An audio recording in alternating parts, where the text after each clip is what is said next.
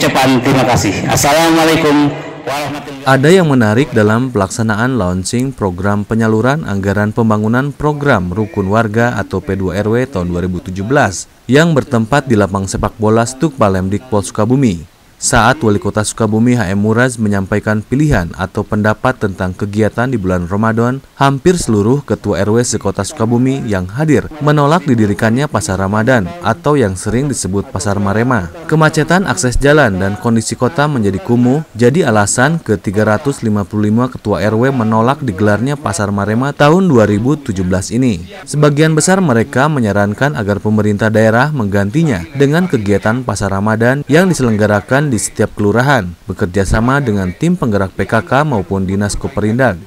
Oh, katanya satu kumuh, kedua macet, hmm. ketiga katanya dimiliki itu penghasilannya sampai hmm. setiap tahun itu dia keuntungannya uh, berlipat-lipat, berlipat-lipat hmm. keuntungannya.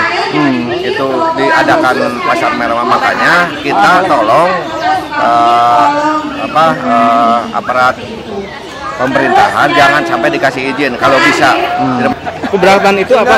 Intinya keberatan macet. Kami semua ketua RW keberatan ya diadakannya masalah Marema. Hmm, gitu. Selain itu ada lagi nggak kang?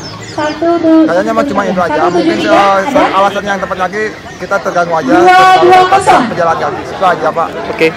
Kenapa bu? Macet. Macet sama apa? Kumuh juga. Kumuh. Uh. Terus selain itu? Ya mungkin dia jalan ya macet jadi jalan-jalan untuk pejalan kaki itu jadi susah. Hmm. Jadi uh, eh, RW masing-masing kompak untuk apa? Tidak setuju. Hmm. Sementara itu menanggapi keinginan para ketua RW yang menolak dilaksanakannya Pasar Marema tahun 2017 ini, Wali Kota Sukabumi HM Muraz akan menghormati dan mendukung keinginan warga. Menurutnya, sebagai wali kota harus pro rakyat, sehingga penolakan ini harus didukung termasuk oleh Muspida. Bang Yas, Pasar Marema ya. Artinya kan selalu ada pro kontra mending pasar Marema.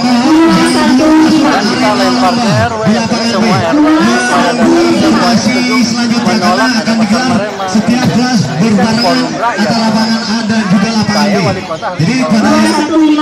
seluruh ketua RW menolak arena lomba di lapangan B. Terima kasih. Kepala daerah bersama Muspida harus dukung Ada kemungkinan nggak ada berarti betul ini ya? Kalau misalkan suruh saya semua kita nyatakan supaya saya menolak, saya kebijakan para PKI juga pada kirim surat kan? Supaya seperti tahun lalu tidak ada pasal marema. Jika tahun 2017 ini Pasar Marema tidak dilaksanakan, maka secara berturut-turut sejak tahun 2016, pasar dadakan ini tidak mendapatkan izin operasional di kota Sukabumi.